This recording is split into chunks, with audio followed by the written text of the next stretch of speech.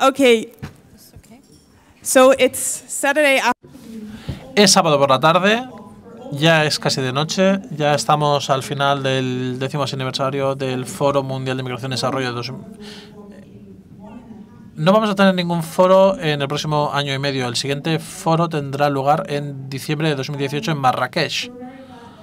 Así que es un placer que ambos copresidentes estén aquí con nosotros eh, esta tarde para hablar del Pacto Mundial y del próximo FMMD. Ha habido muchas novedades en este foro.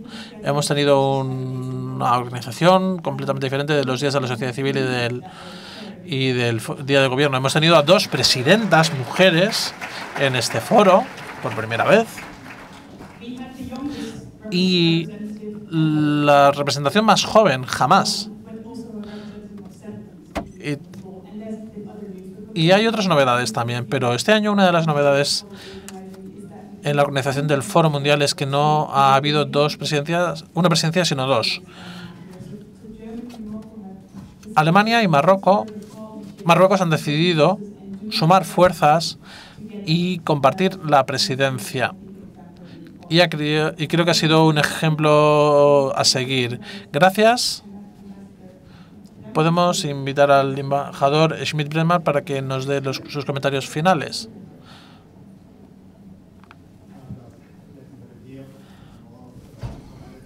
Bueno, de forma informal, no quiero repetir las palmadas en la espalda mutuas. Ha sido una conferencia eh, magnífica y la sociedad civil es muy importante. Perfecto.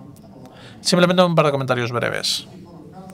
Por primera vez, los días de la sociedad civil han tenido un espacio común y el FMMD, FMMD dirigido por el Estado, pero no pro- propiedad del Estado. Hay una oportunidad de actuar. En la declaración de ayer tuvimos la oportunidad y ahora podemos tener nuestras primeras reacciones. Me ha impresionado vuestro enfoque este día de, para las recomendaciones, sinceramente, con demandas, además. Y además vuestro día para los compromisos. Y en las próximas semanas, si necesitáis, si necesitáis el número de teléfono de la Sociedad Civil Alemana, lo tenéis en el programa.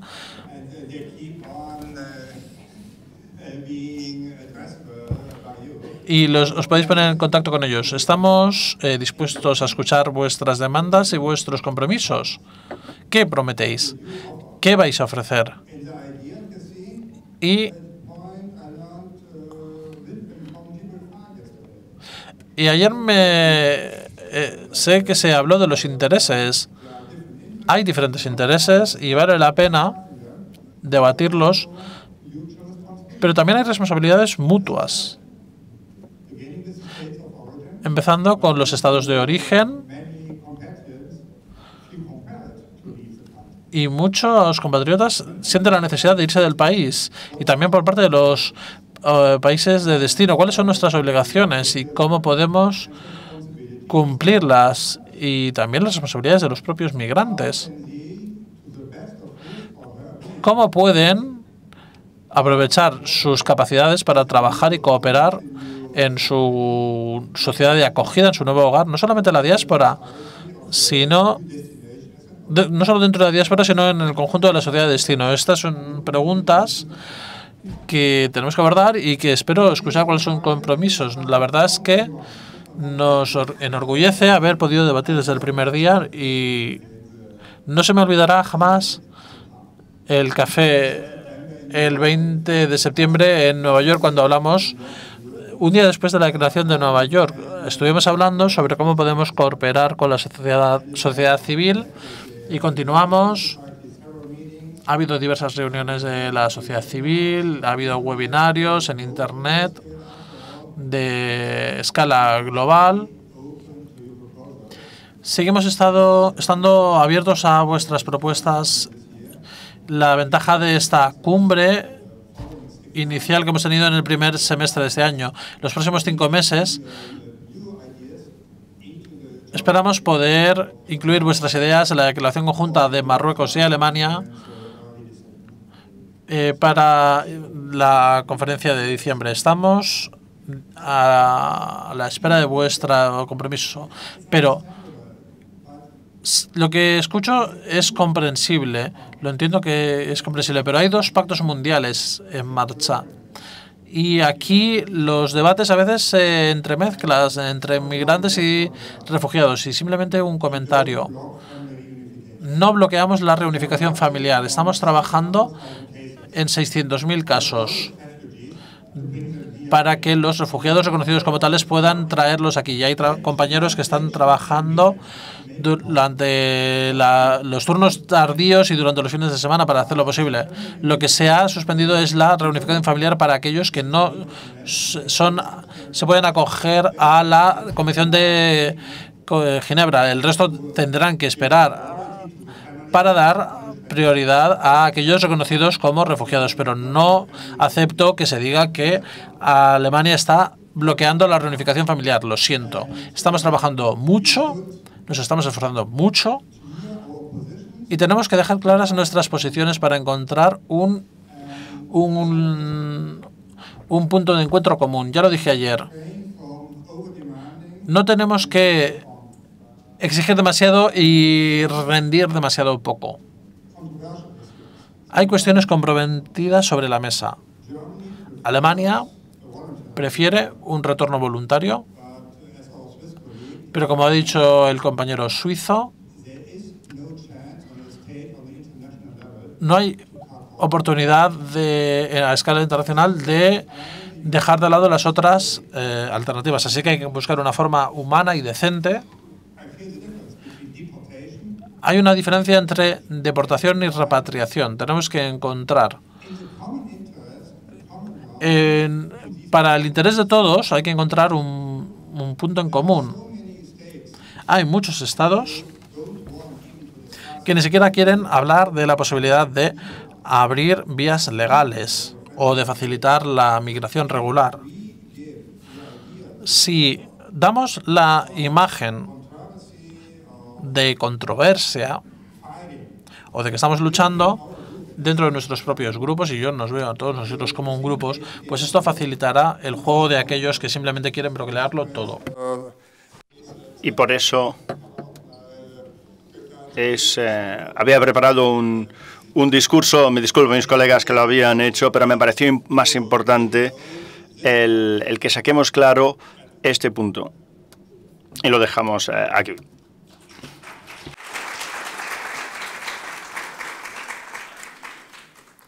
Thank you.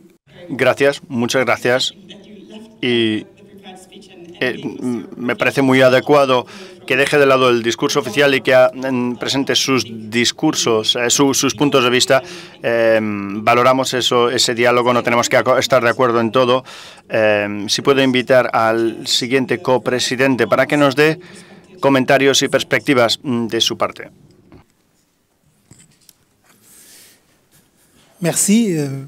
Muchas gracias, gracias. Estamos bien rodeados. Imaginen, sé que el equipo había preparado un discurso y no están aquí, no tenemos aquí entre nosotros ninguno de ellos que lo había preparado. Y todos nosotros tuvimos la, la idea de venir y hablar de todo corazón porque es, eh, es mejor. Eh, yo no me siento tampoco tan a gusto con los discursos escritos. Quizás parezca como si fueran como si fuera un, desorden, pero mejor expresarlo así. Hay muchas recomendaciones y hemos abordado de, de, recomendaciones estas jornadas, ya sea eh, en la sesión FMMD formal o en las jornadas con la sociedad civil. Pero estas recomendaciones eh, no sirven de nada si mañana cuando regresemos a nuestros países respectivos no se traducen estas recomendaciones, no todas tal vez, pero eh, si, no fuéramos a nuestros países, a nuestras regiones e intentáramos hacer algo para realmente avanzar la causa de los migrantes.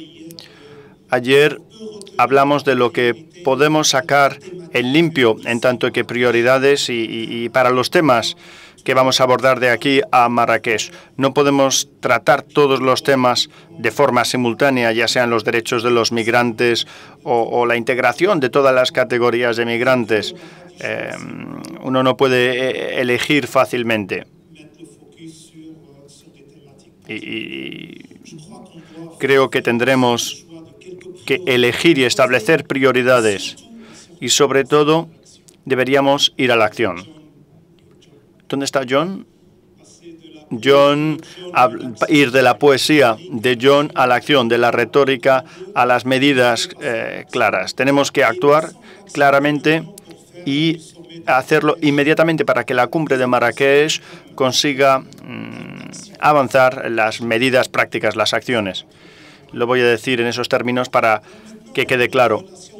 En cuanto a nuestra relación con la sociedad civil, pues aquí vemos un vínculo claro entre la sociedad civil y, el Estado. Eh, no podemos pasar de una confrontación a una sociedad civil que haga todo lo que le pide el Estado. Entre ambos hay todo un margen eh, bastante amplio. Y, y, digo a título personal lo que pienso en tanto que representante de un Estado.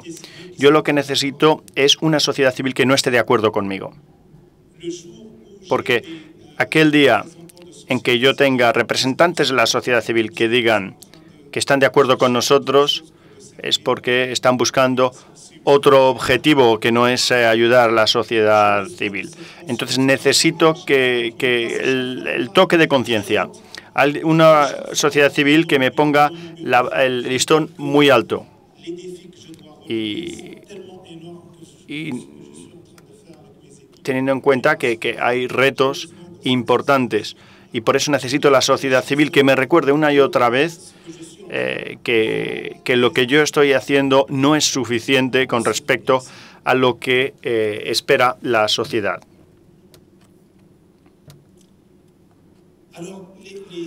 En cuanto a las jornadas de la sociedad civil, pues están a punto de concluir y ya lo dije ayer, algo que además cabe repetir hoy, queda mucho trabajo todavía por hacer eh, ya sea la sociedad civil o los otros actores, lo que tienen que hacer es acompañar a los países para que preparen las negociaciones del Pacto Mundial. Porque si no eh, hacemos bien la fase de la preparación, pues eh, no vamos a conseguir tener una buena negociación y al final eh, no sería útil. Y en sus países respectivos les invito a que preparen bien esa fase de negociación, incluso si no se lo piden y algunos países que no se lo van a, hay países que no se lo van a pedir. Acompañen a esos países en esa fase de negociación. Creo que lo necesitarán, pero después está el orgullo nacional a la hora de pedir la ayuda a las eh, personas que conocen, que conocen bien los temas y que los han estudiado profundamente, incluso mejor que los estados. Y voy a concluir um, pidiendo tres cosas.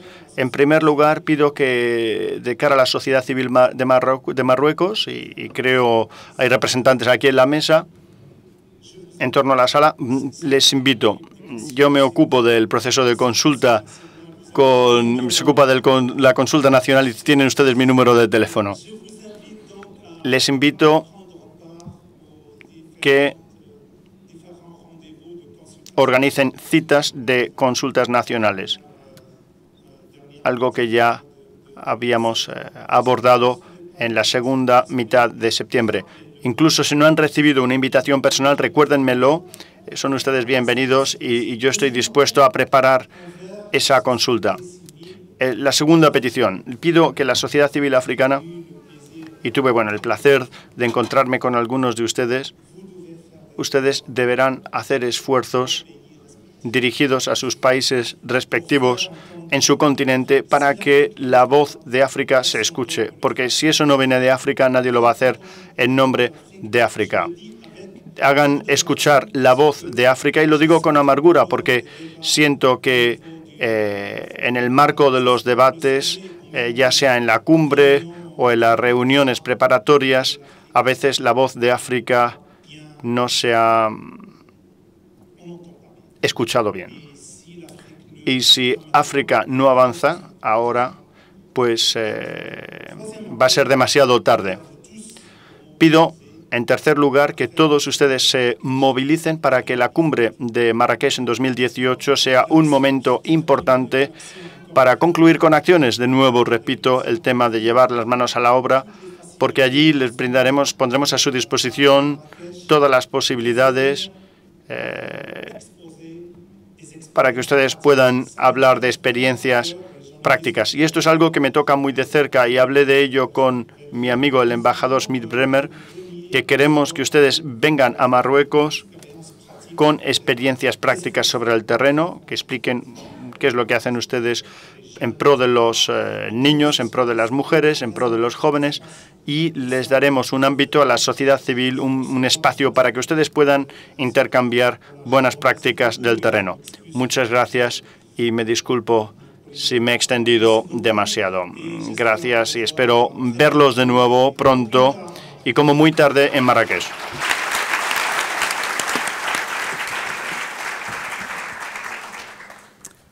Thank you so much. Muchas gracias. Espero que estén de acuerdo con usted en las, la llamada a la acción. Tenemos que trabajar con ustedes conjuntamente. Y con esto llegamos a las últimas palabras, las últimas reflexiones de Benedita Valdez. Muchas gracias. Gracias, Luis. Eh, bueno, yo añadiría lo que dijo Luis como un avance en estos foros mundiales que fue multilingüe. Yo pude hablar todo el tiempo en español. Aquí estamos en un panel hablando en inglés, en francés y en español y espero que esto se continúe en los foros y en las negociaciones y procesos de consulta también. Creo que eso es un avance importante.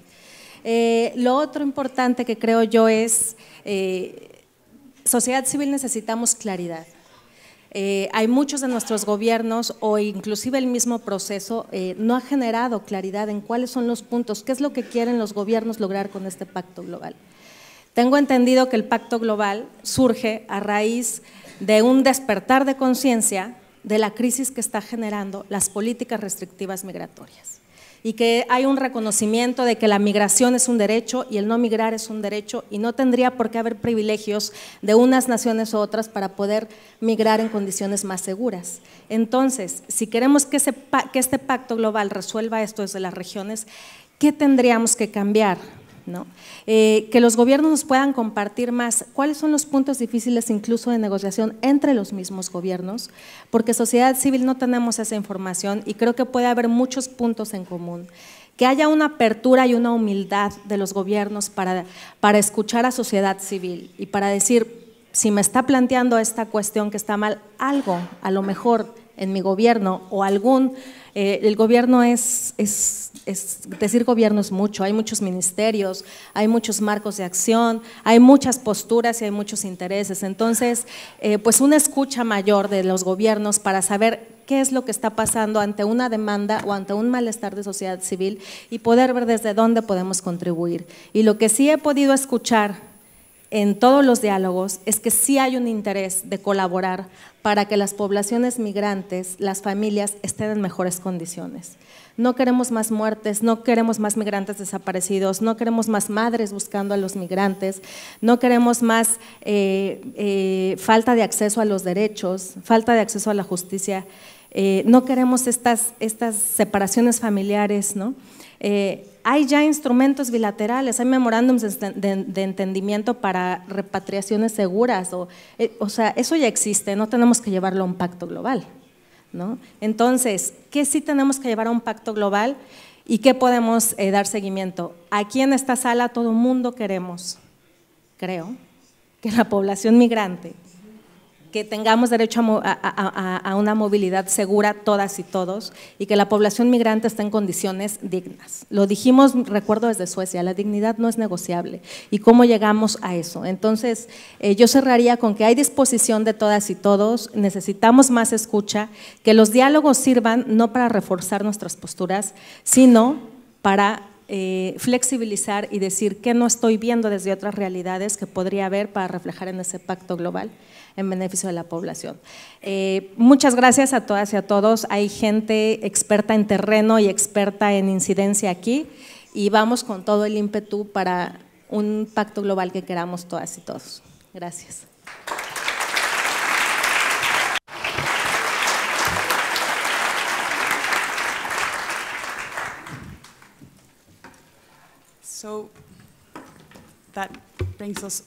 Y con esto estamos a, punto de concluir. Antes de que le ceda la palabra, y no sé si funciona este micrófono.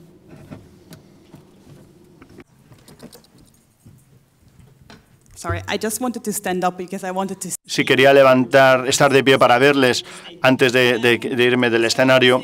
Lo que decía es que estamos a punto de concluir nuestras jornadas de la sociedad civil. Y antes de ceder el micrófono al equipo organizador y a Sofi para que habla de los anuncios eh, prácticos y los agradecimientos, un par de palabras. Empezamos estas jornadas en la puerta de Brandenburgo, hablamos de muros y cómo hacer desaparecer esos muros, tanto desde una perspectiva física como mental. Eh, concluye nuestra jornada en la sociedad civil, pero sé que muchos de ustedes trabajarán en el People's Global Action y sé que muchos de ustedes regresarán a sus países y trabajarán con todos los temas aquí abordados. Queremos regresar a casa y hacer el, trabajo. Gracias. Han sido un grupo extraordinario de personas con, con muchísimas experiencias y espero que eso quede patente aquí. Ha sido una experiencia eh, muy, muy positiva visto desde este ángulo, desde esta parte del escenario, porque suelo estar en el otro lado y, tengo eh, muchísimo, una actitud muy positiva, como decía Monami, y, y con John, con Sophie, con todos los demás hemos estado trabajando y hemos eh, podido eh, conseguir que, celebrar este foro menos de, nueve meses antes de que acabara el anterior en, en Dhaka. Entonces, em, cuatro mm, cosas para sacar en claro em, que yo me llevo en tanto que, presentadora cosas que, yo saco en limpio eh, cuando regrese a Países Bajos y trabaje con otras organizaciones. Creo, en primer lugar, que necesitamos un pacto global para la movilidad humana, con derechos humanos y con el desarrollo humano. Eh, creo que la migración debería ser eh, segura, ordenada y regular. a veces hay violación de derechos, de, de acceso, entonces tendríamos que ver cómo mm, conjugarlo con los derechos humanos y la movilidad humana. La diferenciación a veces entre lo que son los refugiados que se merecen cierta protección y los migrantes que no, eso no ayuda a esa división eh, en, el debate. Tendremos que ver a las personas como personas y personas con derechos. En segundo lugar, todo lo que tiene que ver, que ver con la implementación, implementación y más implementación pero es verdad que tengamos demasiados principios y no hayamos conseguido buenos suficientes resultados. Hay ámbitos donde necesitamos nuevos principios y nuevos planteamientos, como por ejemplo en todo lo que tiene que ver con la regularización, tipificación como delito, eh, tema transnacional. Hay que trabajar con los principios al mismo tiempo que nos planteamos la implementación y trabajamos con nuestros gobiernos respectivos nacionales. El tercer punto que saco en limpio es todo lo que tiene que ver con la movilización, movilización y más movilización tendremos que ir a los niveles nacionales, trabajar con las organizaciones de base, con la sociedad civil que no ha podido estar aquí presente, pero que cumple una función y que se implican directamente con nuestros gobiernos. Hemos oído hablar de que muchos gobiernos no se implican, no están todavía despiertos. Tenemos que llamar a su puerto, puerta, hablarles del pacto global y mm, incitarles a que cambien las políticas, políticas sobre el terreno. También tendremos que conectar con los movimientos sociales más amplios para tratar otros temas, como por ejemplo el clima y la injusticia social, etcétera. Y finalmente, me llevo en limpio todo lo que tiene que ver con nosotros en tanto que sociedad civil, lo que podemos hacer mejor aún juntos para respaldarnos los unos a los otros. Muchos de nosotros eh, admiramos, eh, desde hace tiempo la iniciativa de los derechos del niño y el documento que surgió de allí. Y algo que le ha dado tanta fuerza ha sido el esfuerzo colectivo de la sociedad civil, que va algo más allá de los mandatos, los logotipos y las organizaciones. Construye sobre los puntos fuertes de muchas organizaciones. Todos tenemos puntos fuertes, algunos ya sean analíticos en las bases, algunos son números de teléfono de gobiernos, otros no. Trabajemos juntos porque estamos de acuerdo en tantas cosas, en tantas estrategias que deberíamos poder conectar. Y finalmente, quería concluir haciendo una pregunta que ya hice hoy más antes. ¿Quién en esta sala tiene esperanza de que el pacto global realmente valga la pena?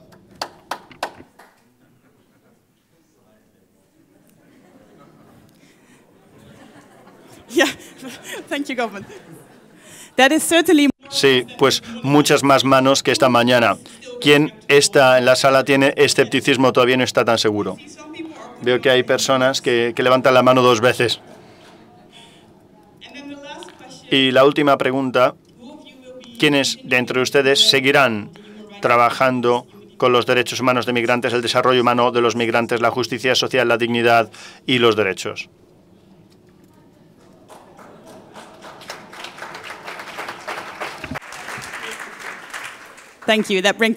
Gracias.